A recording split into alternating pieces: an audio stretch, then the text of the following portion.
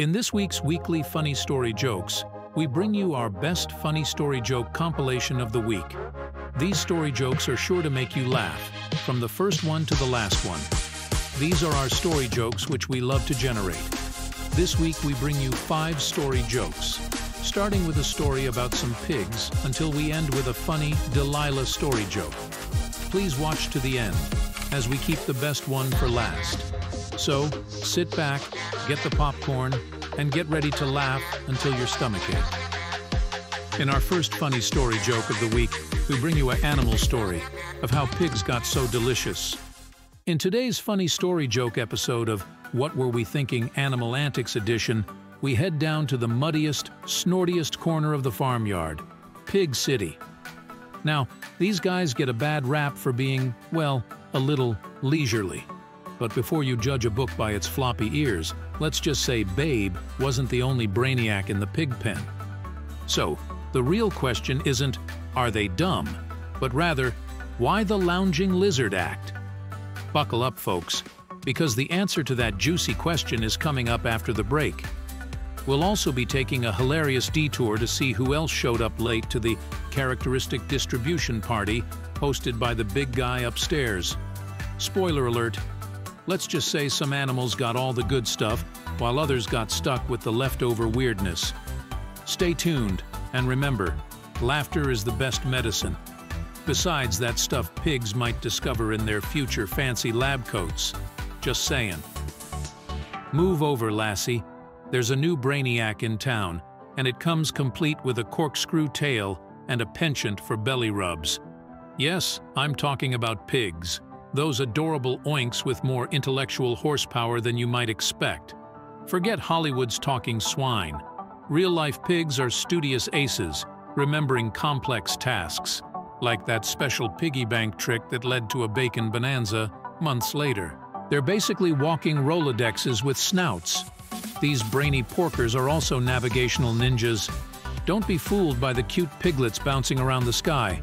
They're training for the Piglympics, a future event perhaps. With their inner GPS, they're maze-running champions, finding the fastest route to a mud puddle, or, if they're feeling adventurous, the nearest donut. Speaking of tools, pigs are the original oinkergineers. Don't expect spaceships, but they have a surprising knack for getting things done. Need a comfy napping spot? No problem. Just grab a stick and watch them dig like pros. Feeling a bit vain? Pigs have even been known to use mirrors to check out their undeniably intelligent reflections. Step aside, Mario. There's a new contender in town. Pigs are surprisingly adept at mastering touchscreen games.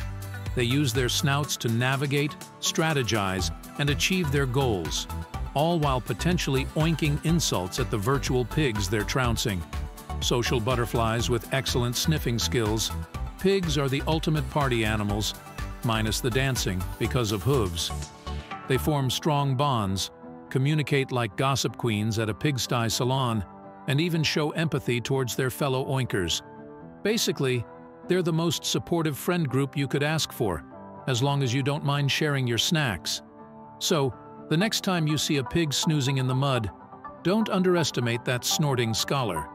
Their minds are like well-cured hams, full of surprising depth and flavor.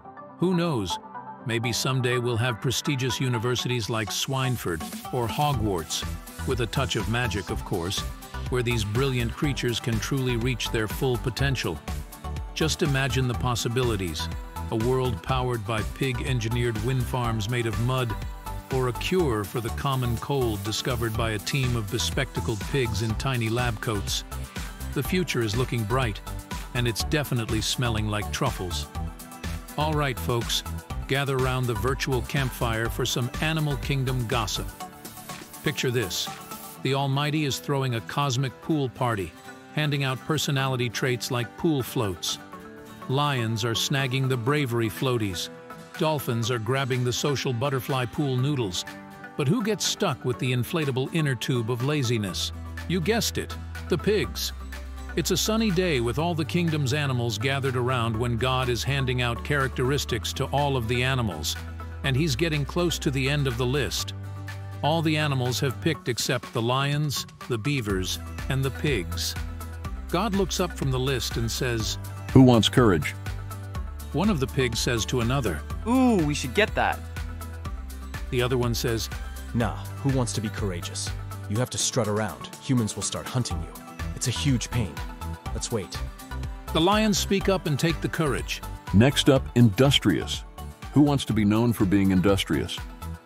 Hey, we could definitely be that. Make stuff, stay busy, it sounds good. The other pig says, Are you crazy?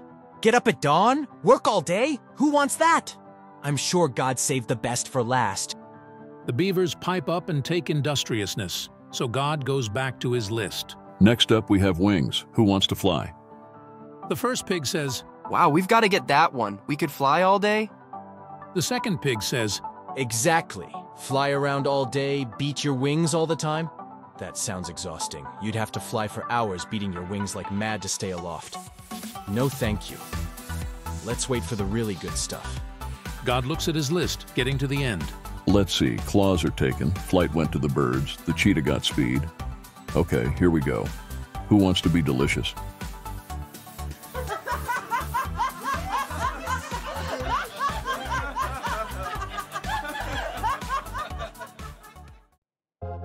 Our second funny story joke of the day is a joke about what you should not wish for.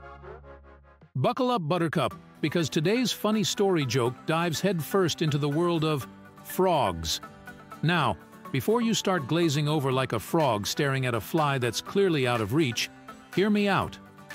Frogs are like the ninjas of the animal kingdom. They've been around since the dinosaurs, chilling out in the shadows for over 200 million years. Imagine a T-Rex tripping over a grumpy Goliath frog.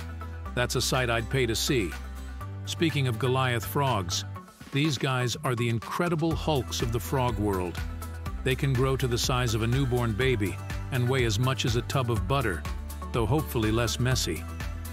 On the other hand, you've got the Cuban tree toad, who's about the size of your thumb, the perfect hitchhiker for a hummingbird. Here's the coolest part. Frogs are basically living superheroes. They can see almost everything, except maybe what's directly behind them. Gotta work on that froggy blind spot. And when they gobble up a fly, their eyeballs actually pop down into their mouths to help push the food down like a built-in froggy plunger. Want to be a champion leaper? Frogs can jump over 20 times their body length. That's like a human hopping over a football field in a single bound. And some frogs can even glide through the air like tiny green parachutes. Talk about a superhero landing. Frogs come in all shapes, sizes, and most importantly, colors. Some frogs use their camouflage skills to blend in with their surroundings, like a living piece of mud or a clump of moss, perfect for hiding from hungry snakes. But some poisonous frogs are like walking neon signs, letting everyone know they're not to be messed with. These little guys can even survive some pretty extreme conditions. The wood frog can practically turn into a popsicle, with 65% of its body frozen solid. Talk about playing dead taken to a whole new level. There's even a frog out there who can hold out for rain for up to seven years. That's some serious patience. And let's not forget about the amazing ways frogs reproduce. Some frog moms carry their babies around in pouches like kangaroos, while others have their young develop right on their backs. There's even a frog mom who swallows her eggs and lets them hatch in her stomach, like a living froggy nursery. So next time you see a frog, don't underestimate this amazing amphibian. They've been around for ages, they've got some incredible superpowers, and they come in a variety of wild colors and crazy reproductive styles. Frogs, they're basically the coolest little dudes and dudettes on the planet. All right, all right, hold your lily pads. Frog fanatics. We know these little green dudes are basically amphibian superheroes with built-in eyeball plungers and the leaping skills of Olympic champions. Seriously, how do they do that? But enough with the frog facts, let's get to the real riveting story. Woman plays golf on a slightly rainy morning and hits the ball deep into the rough. When she went to look for it, she came across a poor frog caught in a trap, presumably the work of a nasty witch who wants to make trouble for bug charms. If you free me, I'll give you three wishes, said the frog. The woman has a good heart, and would have freed him anyway without the wishes. When the frog was free, he said, But you have to think carefully. Of everything you wish, your husband gets ten times more. The woman agrees, and her first wish is to be the most beautiful woman in the whole world. The frog warns her and says, Just remember, this will mean that your husband will be ten times more attractive than you. He will be a magnet to every woman like a candle to a moth. I don't care. I am the most beautiful woman in the world, so he will only have eyes for me. Said the woman Kabam, and she is the most beautiful woman in the world. For her second win, she wants to be the richest woman in the world. The frog warns her again. This will then mean that your husband is the richest man in the world, ten times richer than you. I do not care. We are married in community of property, so we will both have the same amount. Kabam! She is the richest woman in the world. Her third wish is a little more difficult. What does she want that her husband will get 10 times more? Unfortunately, money makes people greedy, and suddenly she gets an inspiration. For my third wish, please, I would like to have a mild heart attack. At the same moment, her husband also gets one, but 10 times lighter than hers.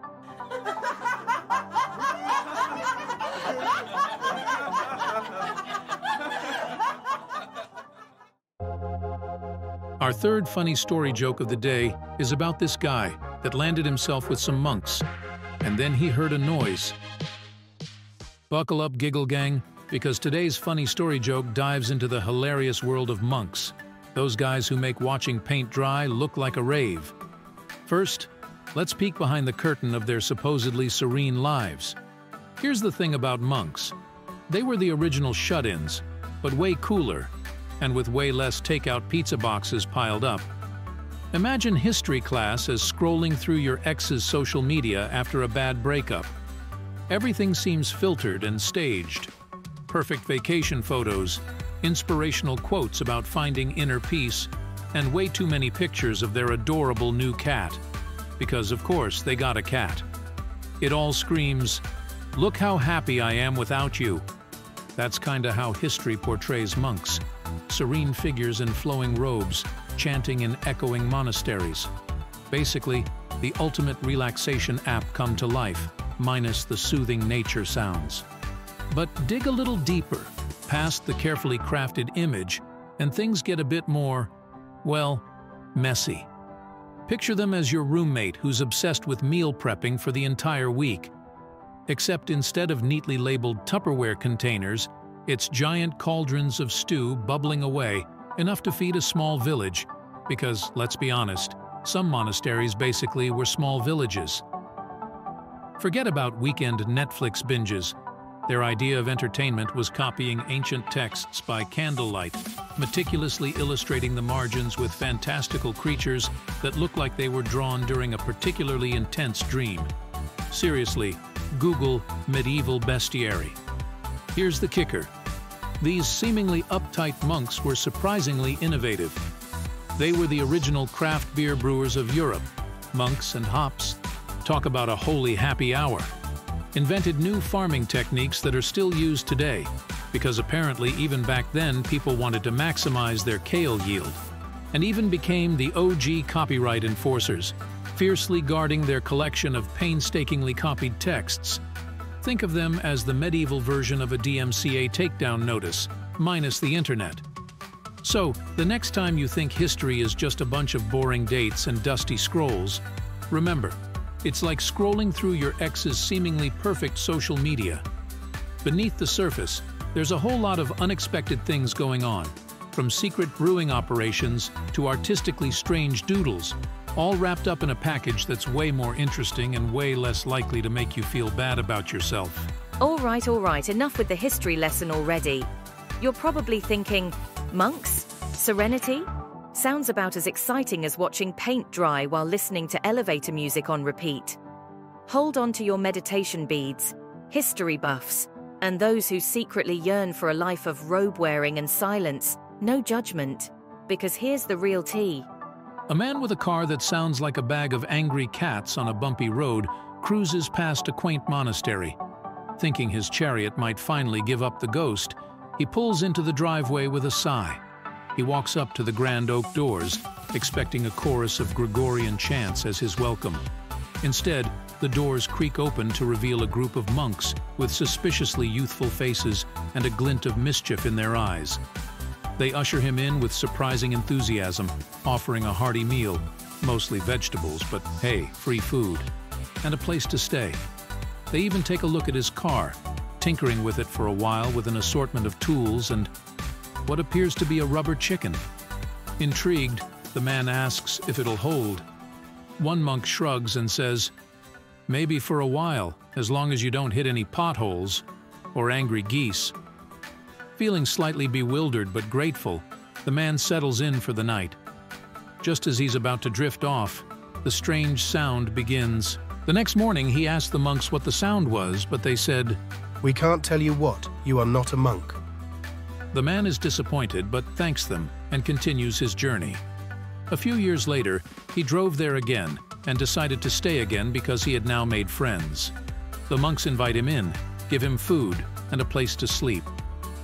That night, he hears again the same strange sound he heard last time. The next morning he asked again what it was, but the monks answered. We can't tell you because you are not a monk. The man wants to die of curiosity. Even if he has to become a monk to find out, he will do it. He quit his job and did a 10-year monk course. Now he is a full-fledged monk. After initiation, the other monks said, Congratulations, you are now a monk. We will now show you the source of the sound. They lead the man to a wooden door where the head monk says, The sound is real behind the door.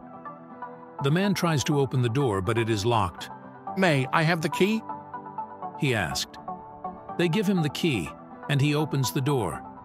Behind the wooden door is another door made of stone. The man asks for the key to the stone door. The monks give him the key, and he opens it too, only to find there is another steel door. He gets another key.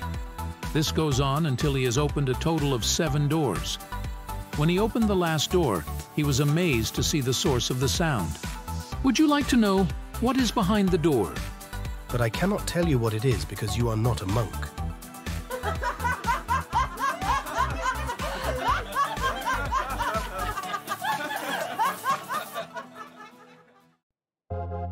In the fourth funny story of the day, we bring you a man hiding in a pot. Hilarious. All right, gather round, chuckleheads. Today's tale is a laugh riot fueled by desperation, good looks, and a car that runs hotter than a politician caught in a lie.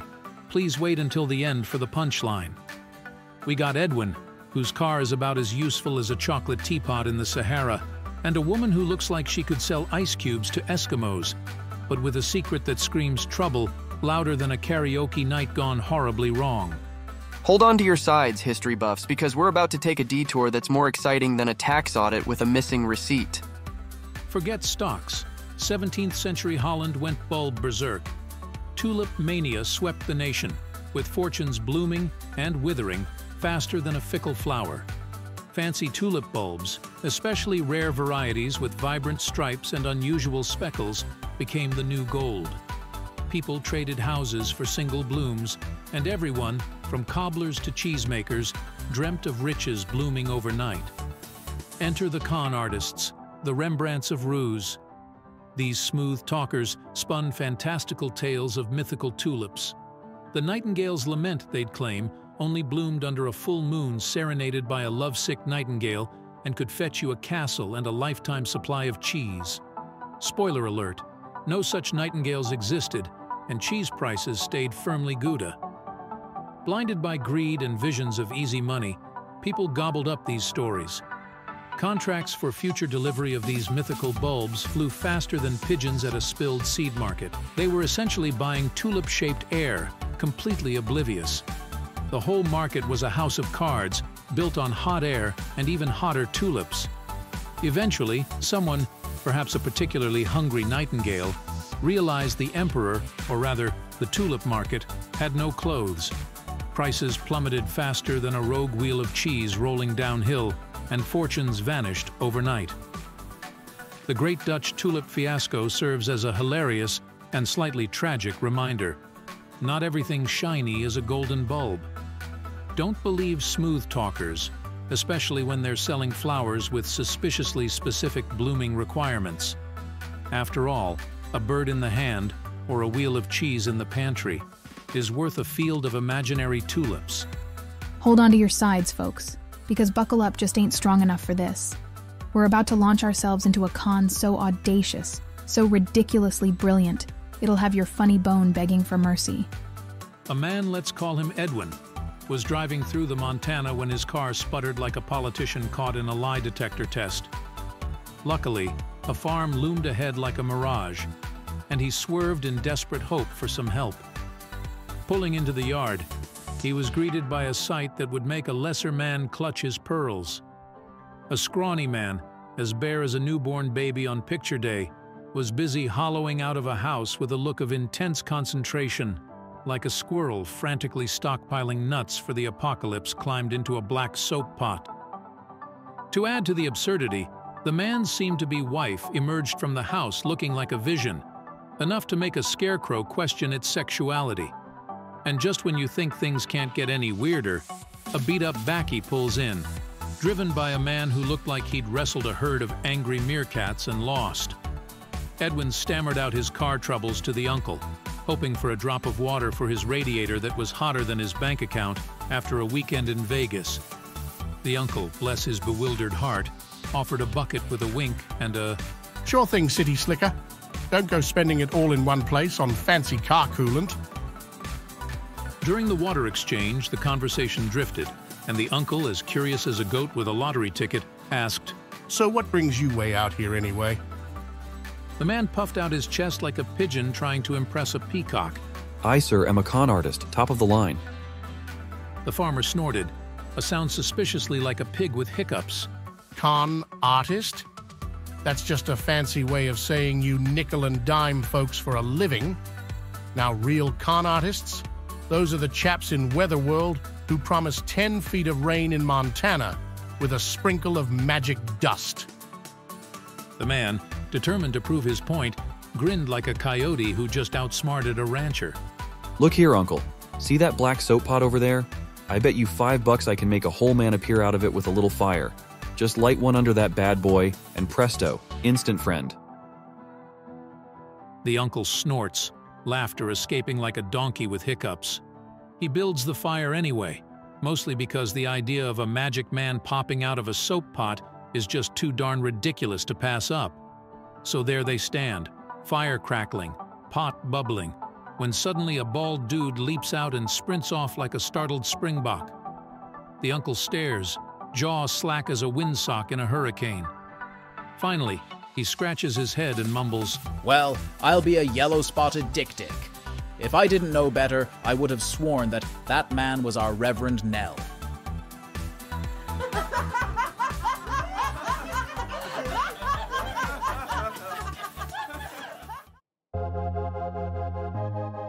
Now we bring you the last funny joke of the day. As promised, we believe we left the best for last.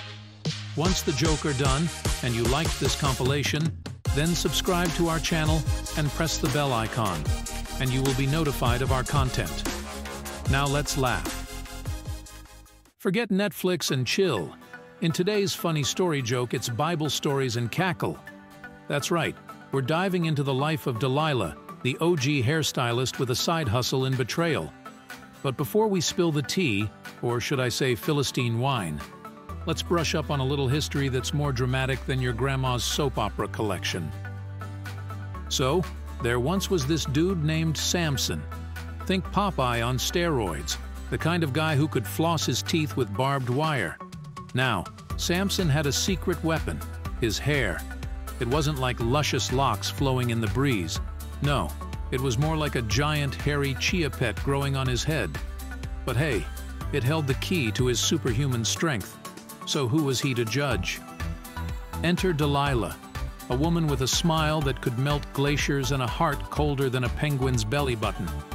She was working for Samson's arch-enemies, the Philistines, who saw Samson as a walking, hairy wrecking ball to their sandcastle empires. Delilah set her sights on Samson, batting her eyelashes like feathery windshield wipers. Samson, bless his naive heart, was smitten faster than a moth to a disco ball. Night after night, Delilah would ply Samson with compliments and gourmet protein shakes. Gotta keep those muscles fueled. All the while, she'd be casually dropping hints about his strength like, Wow, Samson, you're so strong. Is it like a special hair gel you use? Samson, as dense as a brick, wrapped in another brick, never suspected a thing. Finally, after weeks of relentless eyelash batting and protein shakes, seriously, the man was starting to look like a walking protein bar. Delilah sprung the trap. She threw Samson a dinner party so lavish it made a Roman emperor blush.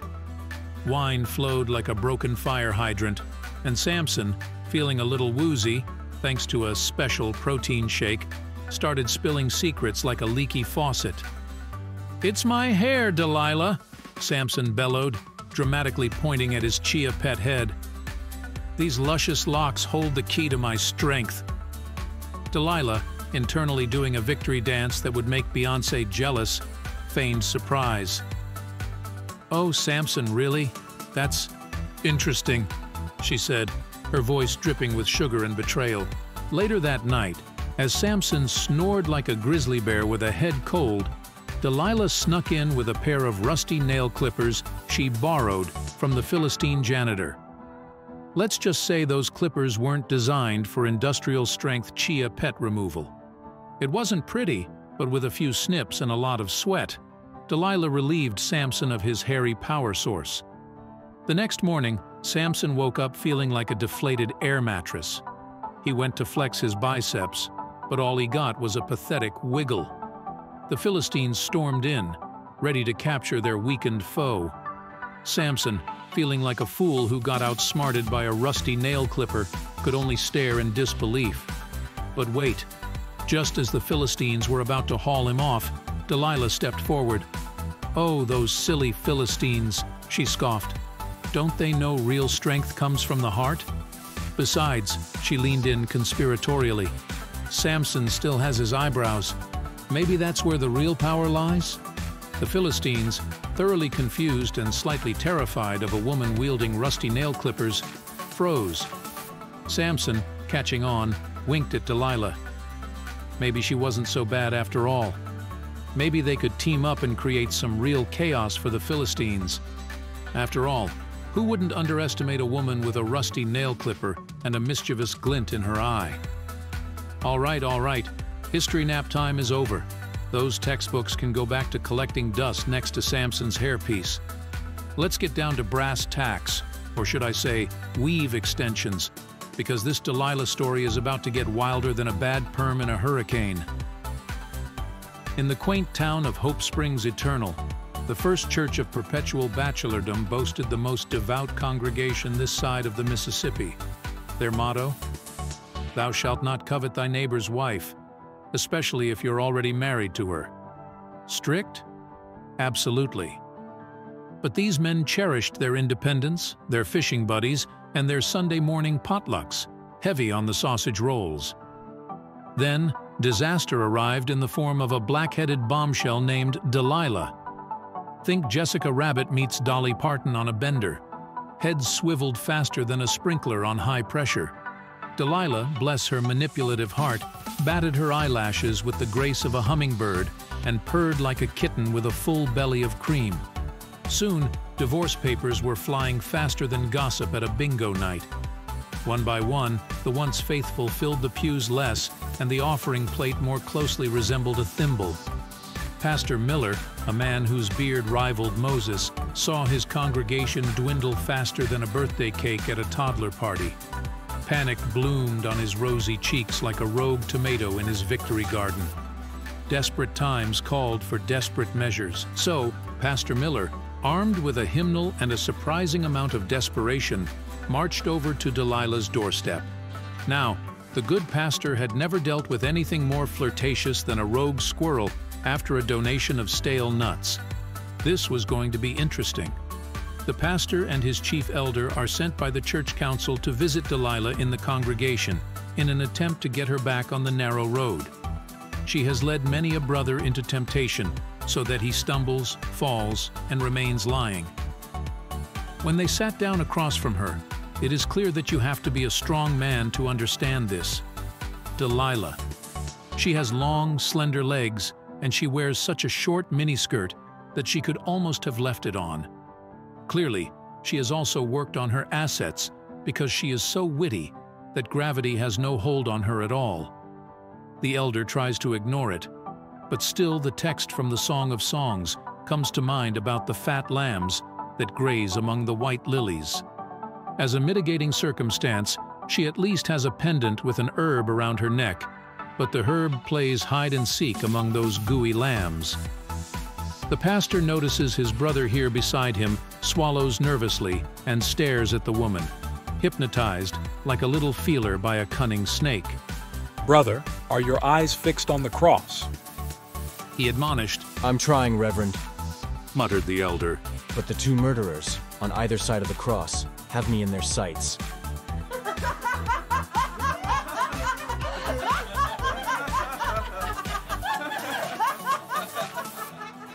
If you liked our joke, then please watch our next joke by clicking here.